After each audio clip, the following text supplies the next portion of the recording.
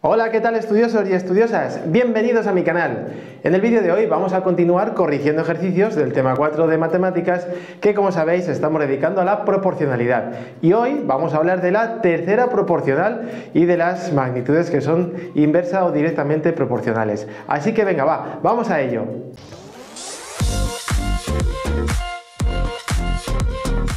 Y para explicar estos dos conceptos voy a corregir el ejercicio 8 del tema 4 de matemáticas que podéis encontrar en mi página web lapizarradepablo.com. Como siempre ya sabéis que os dejo en la descripción el enlace para que vayáis a estos enunciados. Fijaos, nos habla de la tercera proporcional. Ya estuvimos viendo en los vídeos anteriores de la cuarta proporcional y de la media proporcional, ¿vale? Os recomiendo que lo veáis por si no lo habéis visto todavía.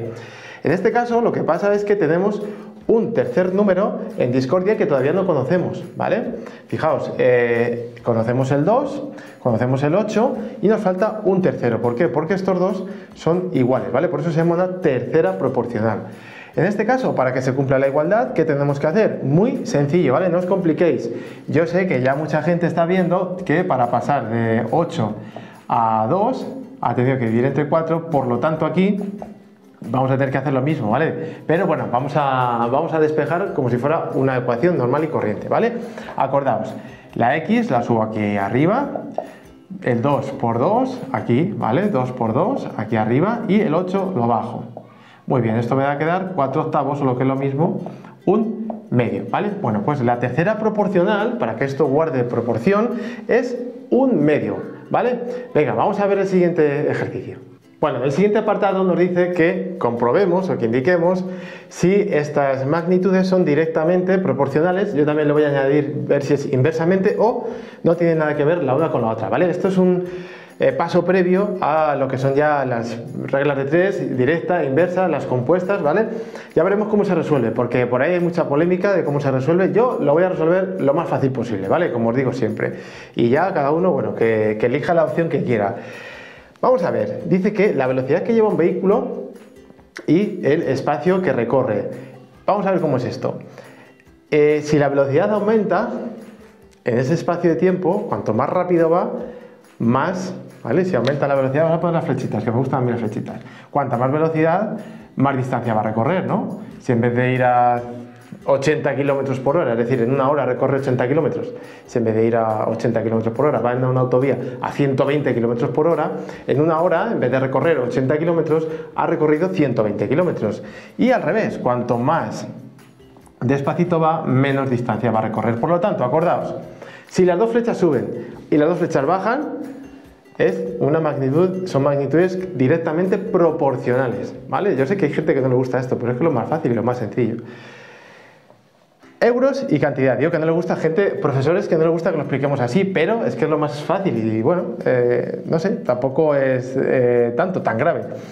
Eh, euros y a cantidad, es decir, cuanto más cuesta un lápiz, más me voy a poder llevar o no. Es decir, yo tengo un billete de 10 y si estos lápices son muy, muy, muy, muy caros, pues sí, yo tengo cuanto más cuesta, menos me puedo llevar, ¿no?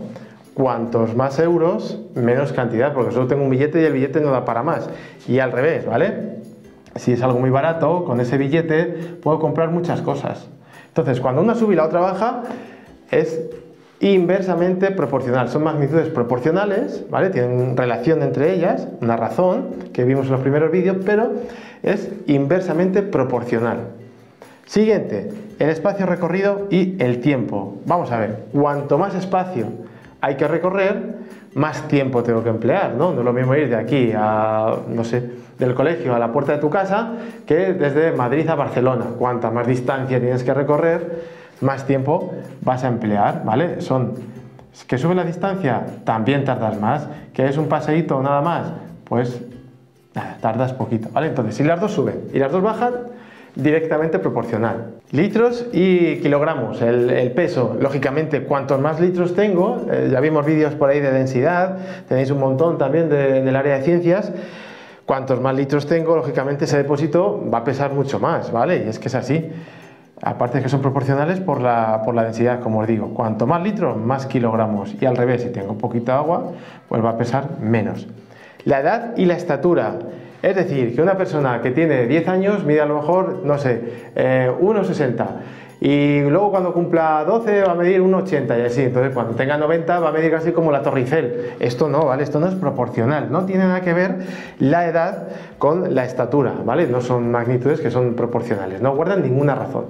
Así que continuad haciendo más ejercicios en la página web lapizarradepablo.com.